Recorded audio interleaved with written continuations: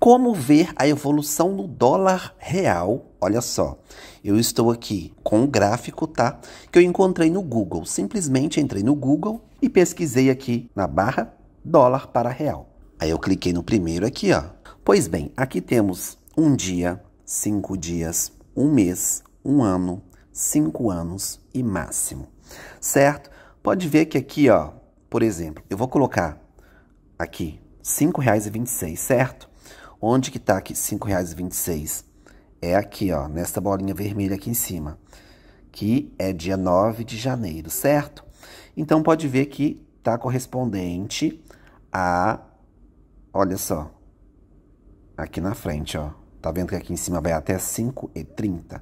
Porém, se, por exemplo, o gráfico aqui, vamos supor que o valor aqui do dia 9 foi para 5,60, o gráfico aqui vai aumentar, tá, gente? Não vai ficar barrado aqui a 5,30, não.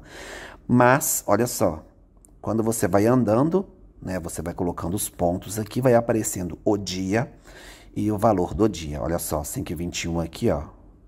Foi dia 20, 21, 22, 23, aí depois foi caindo depois subiu, depois caiu, olha só, 5 e 5 aqui no dia 2 de fevereiro, quinta-feira. Depois, no dia 3, já foi para 5 e 15 e tal. E o dia de hoje da gravação, 5 e 17, 6 de fevereiro. Vamos lá, se eu clicar aqui em 5 dias, vai aparecer um gráfico maior. Veja aqui, ó, que em 5 dias, o, 5 e 20 aqui, né, foi, ó, 5 e 21 aqui, ó, o mais alto, né. Vamos lá, um mês. 5,26, ó, pode ver que aqui aumentou, aqui onde está 5,3. 5,26 aqui foi o máximo e o menor aqui que a gente teve foi 5,5. Vamos aumentar aqui para 5 anos. Olha só, pode ver que o gráfico aqui foi para 6, ó. Tá vendo aqui na lateral? 6. Então, quer dizer que, que tivemos um pico aqui mais alto. Olha só, deixa eu tentar pegar aqui a pontinha do gráfico para ver, ó, 5,85, 15 de maio de 2020. Aí temos aqui, ó, 3,23, olha só isso, 16 de fevereiro de 2018. Então a gente consegue acompanhar aqui, olha,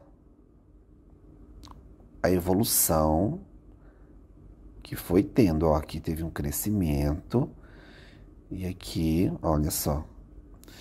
Beleza? A gente percebe que aqui, ó, para cima, ele já teve uma subida, certo? Aqui ele estava mais abaixo. Olha aí. Beleza?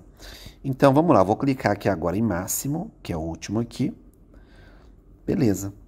Olha só.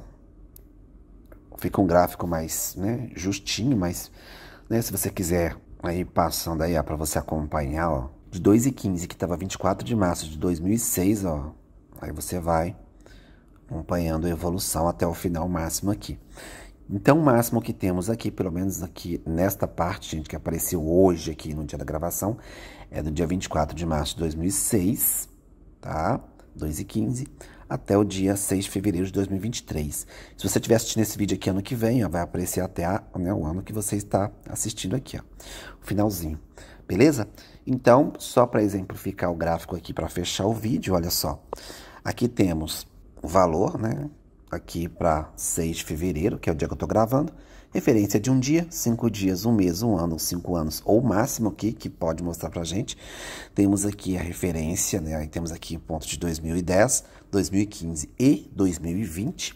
Observação, se eu colocar aqui embaixo onde está escrito 1, se eu colocar um valor, por exemplo, um, 25, vai aparecer para gente aqui uma referência aqui em reais, tá?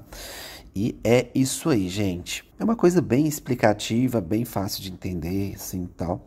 Pelo menos essa parte aqui para você ver, acompanhar a evolução aqui do dólar real, né? Acompanhando aqui pelo Google, né? Sem instalação de aplicativo ou outra plataforma, né? A gente entrou aqui, pesquisou e já cai para você aí, bem facinho e tranquilo.